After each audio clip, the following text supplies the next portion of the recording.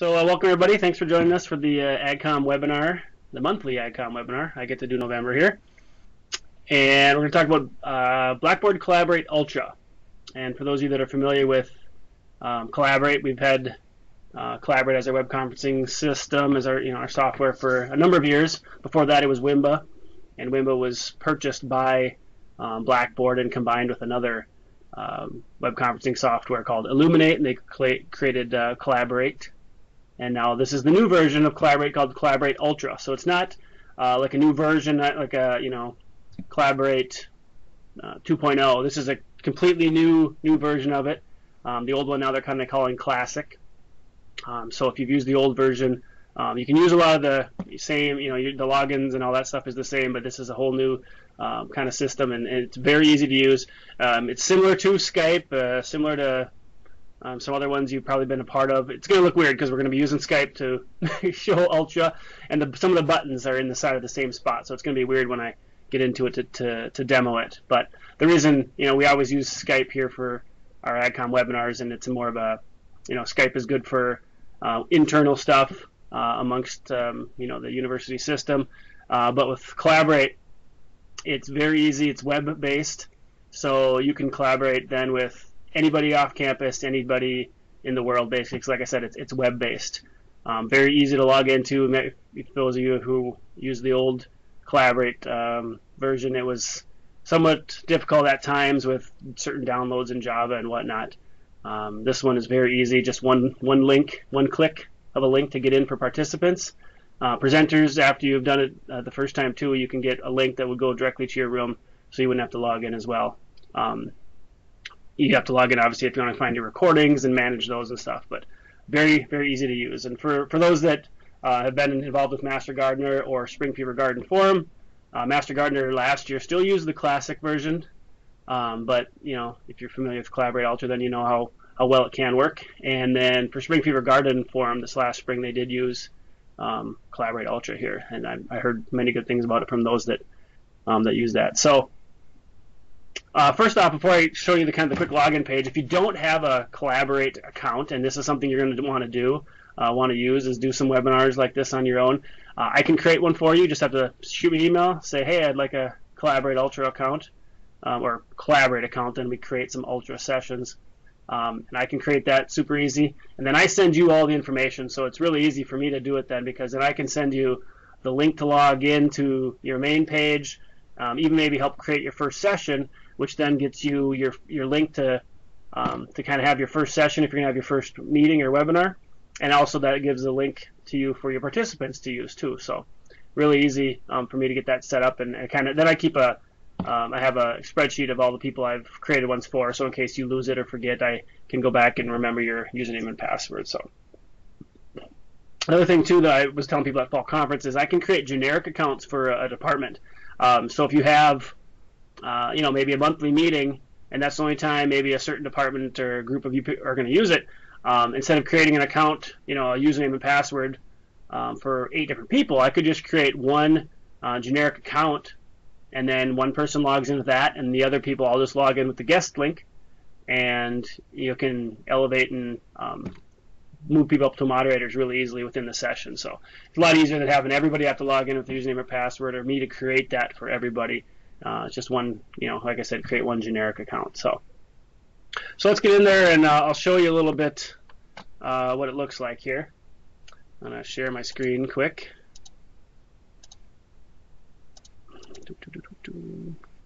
Uh, one thing I, you'll notice I'm using Chrome. Um, for presenting, Firefox and Chrome is what they suggest. I have presented with Safari, which would make me believe that um, which is good for Mac, but I would make me believe Internet Explorer works just fine. But they suggest just um, from different testing they've done, Chrome and um, Firefox work best when you're presenter.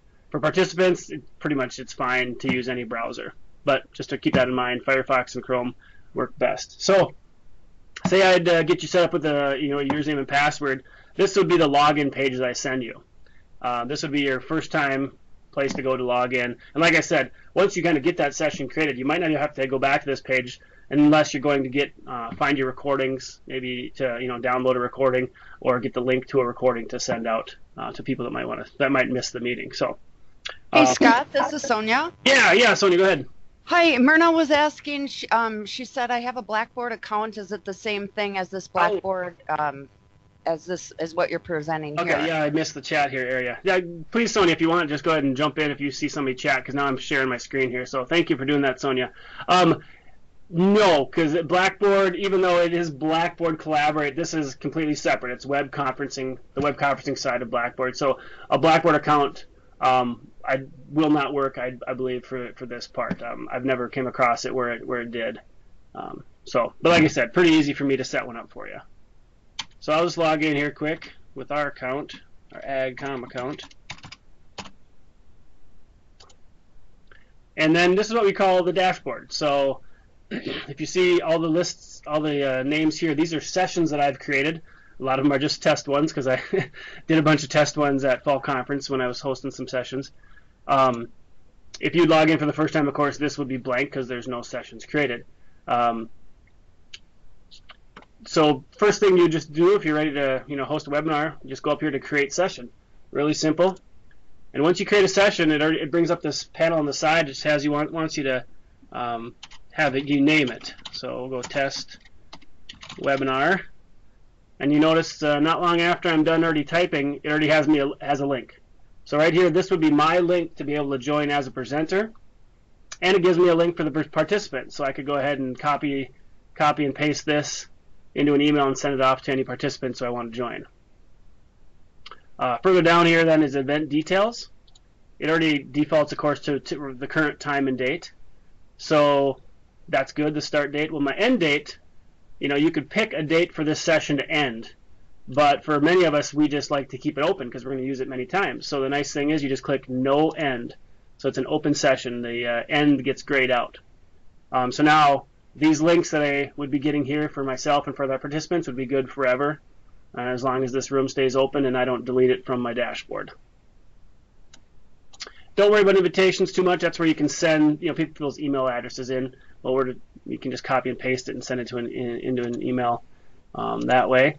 And then session recordings, very important because if this if these are going to be meetings or webinars that you're going to be having that you're going to record, and then you want to maybe download those recordings and put them to a shared drive or put them to YouTube, you want to click Allow Recording Downloads. By default, it's not checked. So first thing when I do after I get uh, when I'm creating this session, a new session, allow recording downloads. Um, when you get a recording, and I'll show that at the very end, you can you get a link so you can watch it within a browser, um, but you can also go find it and, and download it which it gives you as an MP4 video file that, like I said, you can put to a shared drive or put it to YouTube um, and pass along to people that way. And then the, the rest of them here are, are kind of things like if you're a, kind of in like a teacher-student role, where you can take off certain things that the students can uh, or participants can be allowed to do. So if you just want to, if it's just going to be a meeting and you're, or a, I said like a presentation and you're just going to talk, you could go ahead and take off the ability for participants to share their audio share their video, or even post chat messages. We'll leave that one on for now. Um, and this is a good one, and it's by default it's checked, uh, so that's good. Don't have to worry about it. But allow attendees to join using a telephone, and I'll show you a little bit later. Um, similar to the classic version, you can there's a spot where you click, and if say your headset's not working or your your audio isn't working, either speakers or your microphone, um, you can click a button. It gives you a phone number and a PIN number, you can just call in and that your phone works as your headset. Your phone then you can talk and listen to the session that way. Um, so I'm to go ahead and click save. And as you see then it comes right down here uh, on my list here in my dashboard, test webinar. And that's my meeting. That's where I'm ready to, to join. And I could right now join it by just clicking there and then um, it brings up this little window that says launch session and I would go right into the session. Um, but quickly I want to show you some other options here on the side uh, related to this session. So again, I can get into it right there with launch session. Uh, here where I can edit the settings. So everything I just went through and did um, with the dates and allowing certain things to occur with the participants, I can change that right now. So say now I had a meeting and I didn't want people to talk or be able to share the video, but the next meeting we're all going to collaborate and talk and share video, then I can just come back in here and change those and save it, and I'm just updating that session.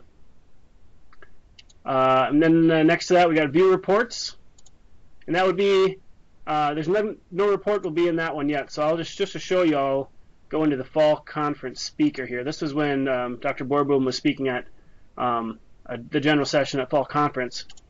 And if I click view reports, it lets me know every time that this session is being used, the dates and the duration. Now I know this one right here is the is the time because I see there's a lot of attendees, and it was a two and a half hour, almost two and a half hour session. Well, if I come over here and click view report, I get a list of everybody who logged in. There's two pages worth here. Everybody logged in, what time they first joined, what time they left, and how long they were actually in the session for. Um, we've used that a lot in the past when we've had uh, candidate candidate interviews and other things to find out who kind of logged in and who, who was listening to the session. All right, uh, and then that was pretty much the last kind of important thing. Delete session, obviously, if it's some, you know, like a one-time or maybe you created a new one, you can go ahead and delete it. And that would obviously remove it from the dashboard, and all those links I just sent out wouldn't be good, so we're not going to do that. And then another chance to copy the guest link if you need to. Um, you find it right there.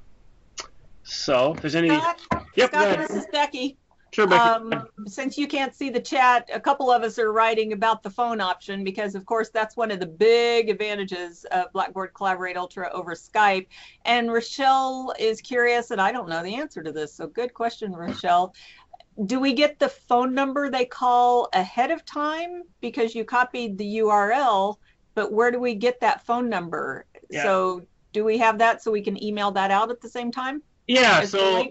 Um, let me see here again. I can't remember. We didn't see it in the edit settings, I don't believe, right? Um, you ha- you get the I, b- I believe you get the email or you get the phone number when you're in the session, but it's the same phone number and PIN number for the session for each for each session. It stays the same. So what you could do is you could log into the session, get that number, you know, and then put it in the email for everybody. Could you demonstrate that for us? Because I think a lot of us will use Collaborate Ultra specifically for that purpose. Yeah, I'm gonna double check. option. I'm gonna double check that uh, afterwards, but I, I'm pretty sure because that's the way it was with the old version. So I don't know why they would have changed it. But yes, I'll definitely um, demonstrate that when we get into the session. So, Thank you. but I tried to open the chat up, but I've got like three monitors here, so if I don't see over on the side, please feel free to keep uh, just jumping in if, if there's another chat in there with a question. So, um, so just since this test webinar one that I just just created, I'm gonna actually we're gonna jump into a session, but I'm gonna jump in this one test three because you'll see here in a second I've actually logged in with my other computer, so there's some other people in the room, other participants, I guess you could say.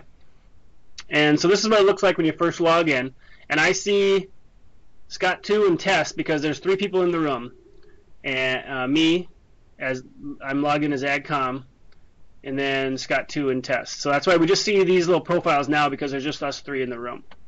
Uh, as more people log in, similar to Skype and other things, you know, you see other uh, profiles and headshots and, and video or whatnot. Um, so say we're ready to, you know, just logged in. Maybe I logged in early. We're going to kind of get things set up here with the, with the meeting. But I'll go over a, a few of the features here first. So on the bottom, um, first little button here. Hopefully you can see that. Yeah, there's my mouse hovering over it. The little uh, icon here is the settings, and when you click that, it pops up the panel on the side again, and goes right to your settings. Now here is where we get we can set up our camera and our microphone. So in case it's first time logging in or it's been a while, you can go ahead and click that, and it'll go through, give you a little audio test. says great, I sound great, great, it's working. Does a video test, which I'm not sure if it'll read the same one that I'm using through Skype. So I'll just go ahead and say yes, it's working. Um, second one down there is use your phone for audio. So that's one we wanted to check on. And so there it's got a phone number and a PIN number, and you can just go ahead and copy and paste that, drop it in an email, and like I said, it'll be um, same same number and PIN number for every for every time. So. And you can use that. Then you know, like I said, uh, people can obviously your phone it works as your headset, but also would work for somebody if they're on the road. Um, they can call in and listen uh, that way. You know, you don't want to miss the meeting, even though you're not maybe seeing what they're going to share. If they're sharing a PowerPoint or their desktop, um, you can still at least listen in. Um, some some microphone speaker settings, and then notification settings. Um, this, as you kind of get into more and more se- sessions, you notice that when people join the room, raise their hand, um, leave the room, there's all these little notifications that pop up. You personally, so this wouldn't be for the everybody in the room I wouldn't be doing this for everybody else, all the participants. This is just for me personally. So for each um, person logging in separately can do this too. You can take those off so you don't see all these notifications that pop up when somebody uh, you know sends a chat message and stuff. Obviously, that is good when you know you're as a presenter. You might want to have that alert to let you know that somebody's sending a chat message. I'll show how that looks here in a second. Uh, and then the session settings. So you know how we had just save the session and we were going to allow everybody to share their audio and video. I can change that right here as well. And you, you don't see it here, but, but my participant window here on my other computer just popped up a little window that said you can now share video, you can now share, now share audio. So it lets the um, the participants know that if it had been turned off before. Okay, so that was our settings. The next button is for microphone. I'm not going to go ahead and turn that on because we're running, you know, through multiple systems here. That's where I turn my microphone on. Here's where I turn my camera on. I can turn that on because that's pretty easy. If it's gonna, I don't know if it's gonna read it or not though. Um, and then for raising your hand, if you have a question, gives you a little uh, notification on who's first and whatnot. I'll raise this guy's hand over here. So as you see, he's now second, and that guy raised their hand third, and there we go. He's a little slow. And it even tells you then as a presenter, see it tells me up in the corner that this person has raised their hand. I can lower it right there. Um, I can lower both of them myself um, if once I've answered the question, or they can click the uh, the raise hand button themselves again and it will go away. So right there, test raises hand, and then test lowered his hand as well. So they can do it if they get their answer their question answered, or you as a presenter can do it as well. Okay, over on the side here, uh, you saw this panel pop up before. Right here is this little purple icon is where you actually can pop it out. You might not be able to see it if my cam or your Skype camera's in the way here. As I look over, mine is. But on the bottom right, there's a little purple um, icon that opens up the side panel, and that's where the settings were that we saw before. But this is important to have out because of a couple other options: the chat and the participants, and the where you can share content. Um, so the chat, obviously, similar to everything else we've used uh, in the past, just a way for everybody to chat together. You can chat everyone together. Here, I'll actually have this guy chat so you can see it here quick.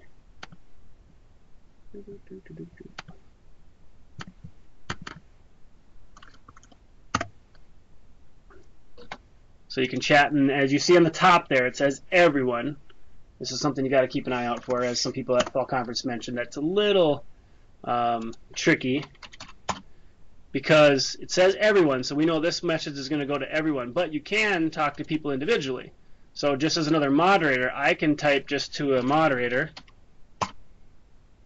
And so that tells me up on top it's just going to anybody else who's a moderator in this session. Go back to everyone, and of course they don't see what I had just typed. And then you can also chat, chat, uh, chat with people individually. So we go to the attendees list, so we're back down here at the bottom uh, part of this panel. And like I said, there's two people here. I'll go to Scott 2, click on the little three dots here, settings next to him, and I can send a chat message this way. Well, hi, Scott 2. Don't you love just talking to yourself? Um, and so now I see I have to again make sure I'm seeing at the top that it says Scott 2. I don't want to you know be sending messages to him and have it saying everyone everyone at top because then I'd be in trouble and everybody be seeing what I was trying to send just to them. Um, let's see if this is the one here.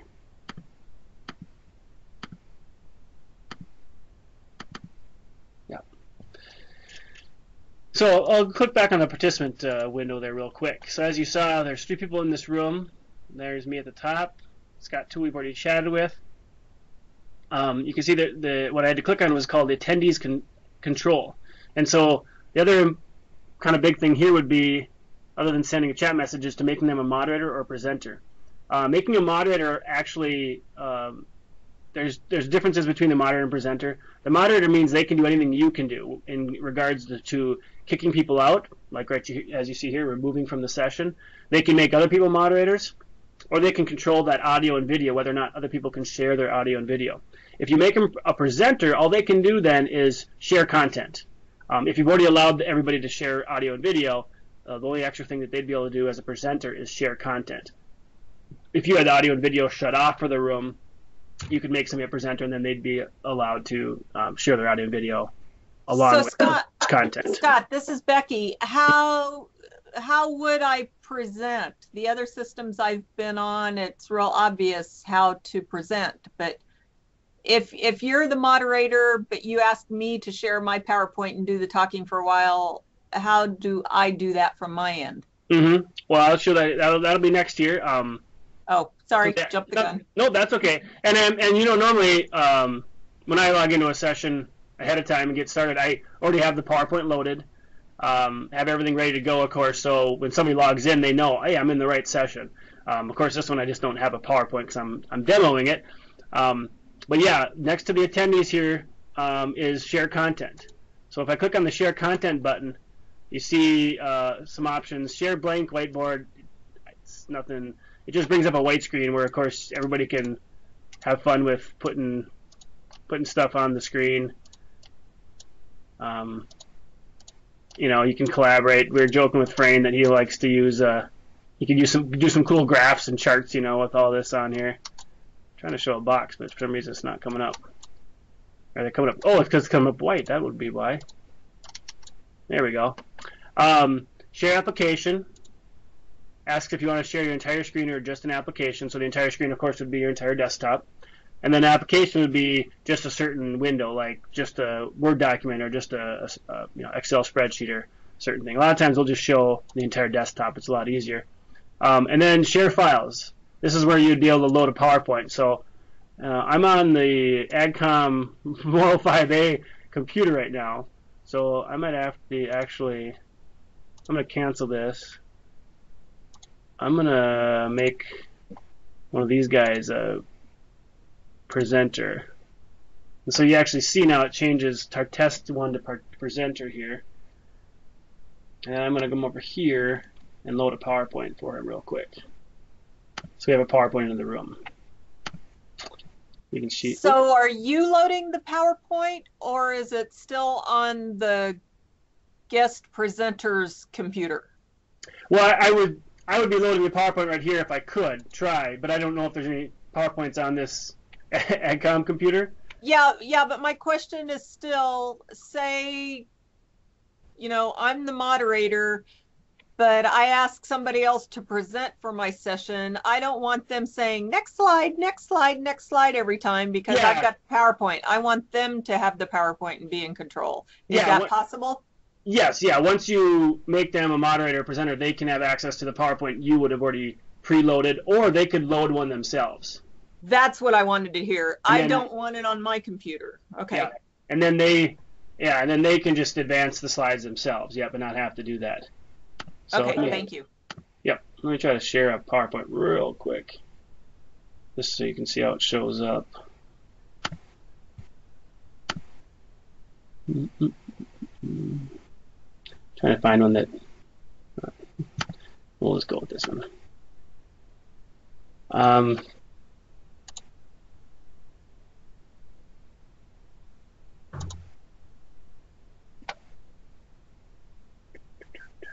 So I got a PowerPoint loading on my laptop here that hopefully will show up here in a second. And um, like Becky was asking about, it, it would anybody who is a modder then should have access to be able to, to advance these slides. So there it is.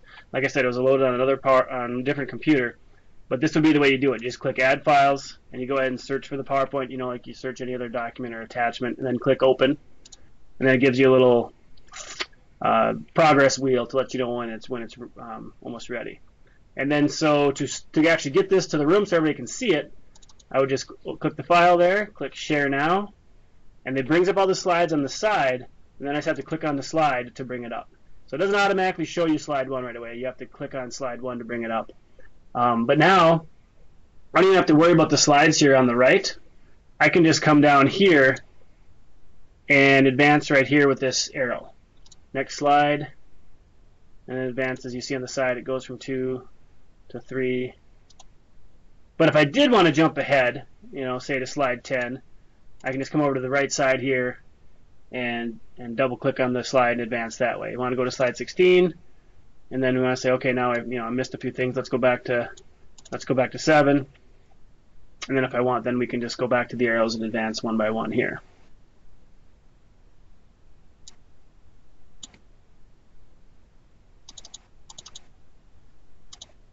So and you can and you can upload multiple uh, ones to it, and they would just be all listed right here. So you just would click, like I said, whichever one you need. You just would click it and click Share Now, and it would it would show up on the side. So that's a nice thing is you can have a couple different ones loaded. Um, you can have you know ones ready for both both people presenting if there's more than one, but it also doesn't take that long to load unless you have a you know PowerPoint that has you know 100 slides and every slide has a really big picture on it. Then it might take a few more minutes to load um, which is then good to obviously load it ahead of time, but it does not take very long at all. And the nice thing that's different about this one versus the classic version, for those that might use that one a lot, is this these PowerPoints then stay in this session. Before, if you log out of the room, when you log back in the next time, you'd have to reload it. Uh, but no, this one stays in the session, and so if you you know do it multiple times, same one, you have it already in there.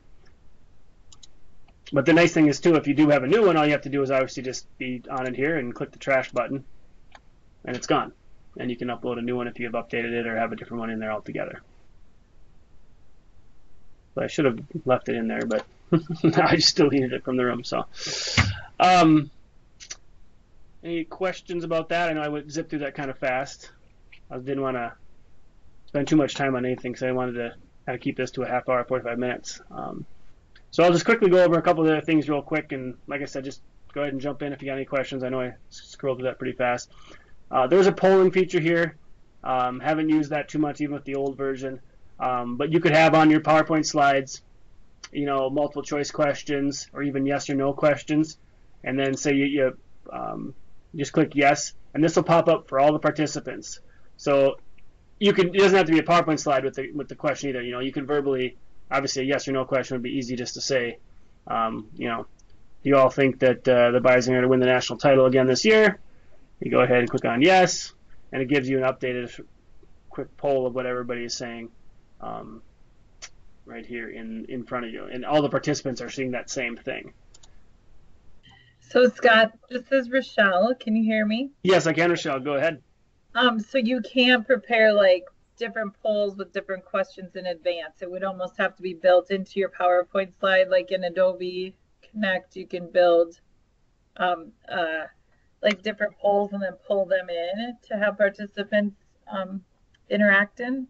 Yeah, I we were discussing that too um, at one of the sessions too, and I think uh, Lisa Peterson was saying that there's there I, there was a name of a software that she said that can go within um, can work within web conferencing, so you can do that kind of thing. And I she was going to double check on it when she got back, and we haven't connected since, so I'm not sure. But I'm as far as I can tell, it's another thing I was going to look into.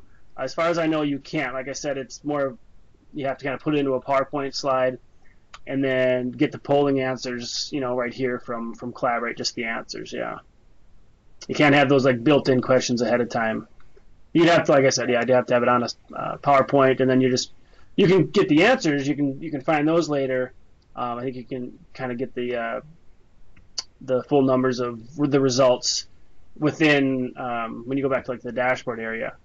Um, but I don't think you can preload any of that stuff, unfortunately. Okay. So, but you could capture the data afterwards. So if you're asking a specific question, yes or no, then you could go back and get those as far as how many responded. Yes, I believe so. I, will double check that one too. Um, I think that's back on the dashboard. Can you do multiple chat pods and like pull those in, or is that not an option either? Um, to split people up, you mean for the chats, or to to have a to download the chat? Have them pre-prepared, like questions that you want people to respond to. Is that an option to have those preloaded like Adobe or not? Not that I'm aware. You okay. know, preloaded stuff that preloaded questions that would go in the chat. Yep. Okay, yeah, I'm not that I'm aware. Not no, I'm not sure. Okay, thanks. Yeah, still learning some of this myself. um, and then so last one over here with uh, in the uh, share content would be breakout groups. Again, don't use this a ton, but if you have a huge group and you know you want to have some brainstorming sessions, you can just drag and drop people into different groups, and then it even it'll tell them right away as you move them to their different group, it'll tell them in their participant window, you've been moved to group five or whatever, and everybody within group five then is chatting and talking and sharing stuff just within themselves, just within their group. And then at any point, the moderators can then come back and well, I'd have to click start. I'd be moving people around. See, it says starting breakout groups. And then me as the moderator, I can just come back. Uh, where is that here? Got to go to share content, breakout groups, and then just click stop. And it takes a minute or two of bringing everybody back to the main room. Um, it takes a, I don't know, say 10, 15 seconds. And then we're all back in the main room talking and sharing again. So. Um, I think that was kind of all, uh, kind of it to the uh, the main screen, kind of the main uh, features you can get here. Um, so maybe double check my notes here. I know I kind of went through that pretty fast. As many of you know, with just different uh, things, you just kind of need to get in there and play around with it yourselves, use it a little bit more, and you'll you know kind of notice how easy it is and um, learn some of the different features that way. Um, one thing I do remember now here, when you're in the session, up here in the upper left is the session menu. That's where you'll start a recording. Obviously, that's important. So click Start Recording, lets you know session's being recorded. It also has, has little camera icon right there, lets you know recording is in progress. And then if we're, we're, we're done, we just go ahead and click Stop Recording. And that's where the phone number is, I see. And that's so, where the other phone number is. So we wouldn't even needed to, I, I forgot about that. We wouldn't have needed to come over here to the settings to get it. The minute we logged in, we could have just clicked up here and gotten it right there. Yep. Let me double check here. All I have to do is click on my settings here to find out. Yeah, so the phone the phone number is the same for everybody. The PIN number will be different um, because each person could have their own PIN and their own phone used as their, you know, like their headset. But again, I'll have to check it because I haven't tested it, but again, I'd be assume it'd be the same as the old version. I was able to give people my PIN number, and they were able to call in and be listening in, but yet I was still logged in, you know, doing everything I needed to do through the web. Um, I'll still double check that one though. Used by two people. So that didn't make sense what you just said to me. So the phone number has a pin for the call in, right? They shouldn't need quote your pin number. Nope. Every I don't know if the room has its own like generic pin. But each session, each person who logs in, I'm sorry, not session, each person who logs in has their own pin number. Uh, where do you, why would each person have a pin number? I don't understand. Because if, so me right here, this person, if I'm having um, technical issues with my audio, I can I have this pin number for myself to call in. Um, Tester Scott two over here has their own pin number to call in too, so it's separate. So, um, like again, I have to check double check on this, but it's the way the old version was. Is then that next to my name, I'd have a little phone icon next to my name, so the presenter would know that so and so logged in with their, or, or I mean, has called in with their phone um, or listening is listening with their phone. But we were still able to use those phone numbers and PIN numbers for anybody else who might have been on the road or just not able to log in via computer. But everybody who calls into a certain session should have the same phone number and the same PIN number, right? No, well, it depends on it. You can give them. You can give it when you send out the email. You can give um, one phone number, one PIN number that everybody could use. But what, I'm, what I'm saying is everybody who's logged in through their computer has a different PIN number. Just because each se- each person logged into a session gets a different PIN number just for that individual user. But you can, like I said, you can send out an email, or in the email you send out for the meeting, you can give uh, one of them, and that goes for every that goes anybody that can use it for. Might not be able to log in through the web. I know it's confusing, but basically, yes, the one you send on the email should work for everybody. But individually, if you do still log in through the web, but while you're in the session you have issues, you wouldn't have to go back to find the email to get that PIN number. You could just go ahead and click right here what we're looking at, and you'd have be able to call in there. But that PIN number is different from that what they'd be giving in the email. Okay, I'm trying to keep this as simple as possible. If I need 15 people on this web conference, I send those 15 an email and it says either click on this link and it takes them right in and they don't have to download an app or anything. Or if you're not at your computer, call this phone number and use this pin. And that should be all I need, correct? Yes. Okay. So if you're on the web, you don't need an additional phone number or excuse me, pin number, you just click on the link. Yes, if you're going to be logging in, you mean to the to the session with your computer.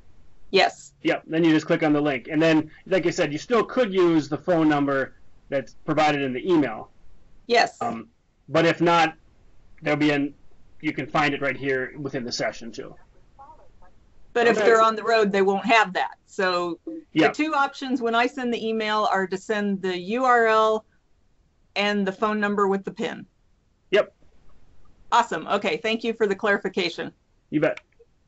I'm actually calling in right now. So I want. See, even told me right there. Now you are now using your phone audio. Others can hear you. To stop using your phone audio, hang up your phone. You'll switch back to using your microphone for audio.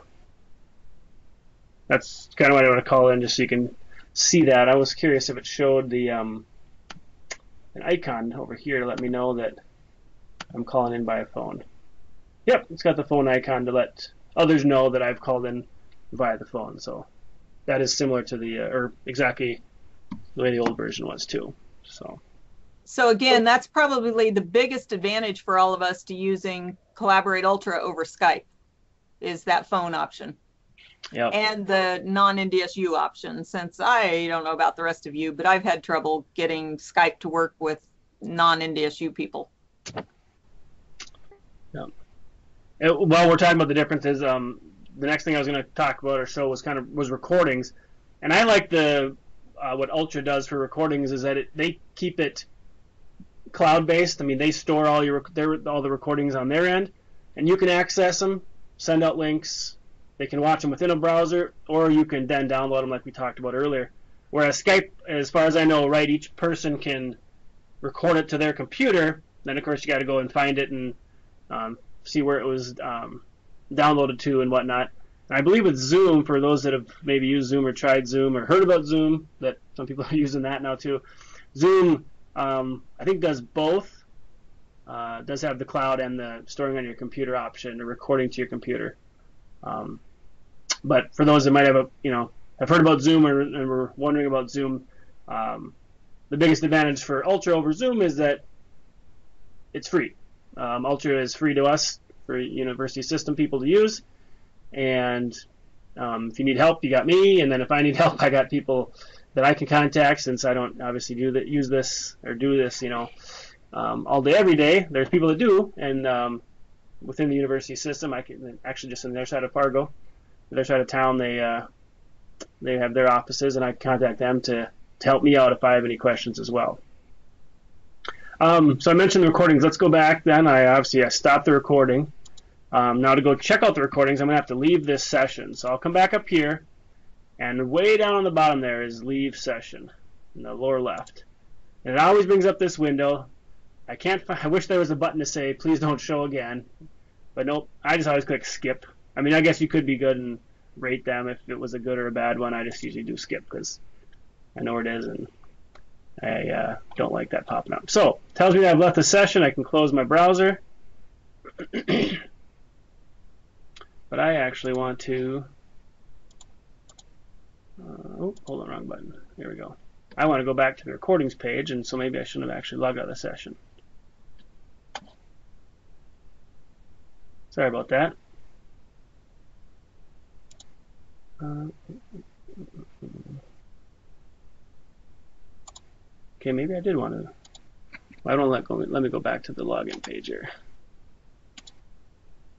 Do, do, do, do, do, do.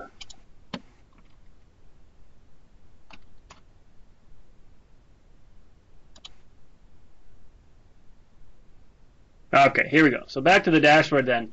Um, uh, as you see bef- saw before, the recordings here on the lower left is then where you can go and find all the recordings you have for all your sessions or just one session if that's what you have.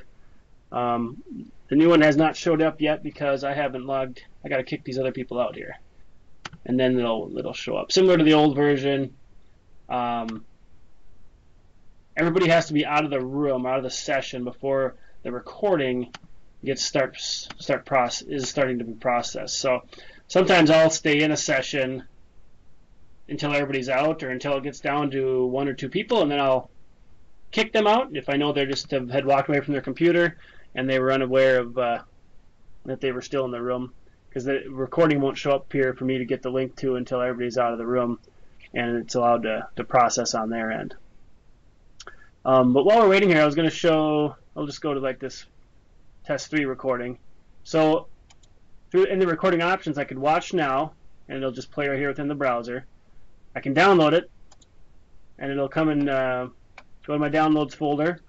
And like I said before, it turns into a MP4 that you can just share with anybody. And you can also delete it, or well, there you go. It shows up there in the bottom now. It's downloading.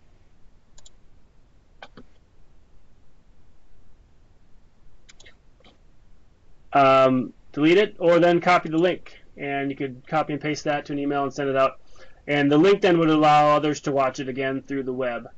Um, just like we could watch it here by clicking the Watch Now button. Um, that's another nice thing is if you have it, I don't think you have to set up that way. I think it's just kind of automatic. That when you're creating the new session, Collaborate will send you an email with the login information as well. And then after you have a um, recording, it should send you uh, an email with the recording link too. So you don't actually have to come back to this recordings page and find it if you just want to send a link out for those to watch it who weren't able to to join. Um, you'd have to log in to get this to this recordings page to uh, to download it, um, like we saw here, um, or delete it to get it off of your uh, recordings dashboard. So it's sort of taking a while to get uh, get connected, but or to, for the recording to be ready, but wasn't much of a recording to watch anyways. So, uh, any questions here?